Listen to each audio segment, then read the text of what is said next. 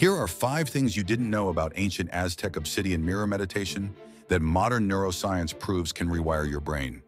First, obsidian creates the most perfect natural mirror on Earth, reflecting 99% of light with zero distortion.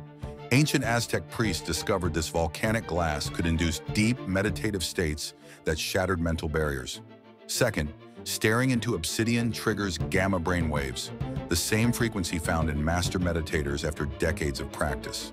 The mirror's flawless surface forces your brain to enter a state of pure awareness, bypassing normal thought patterns.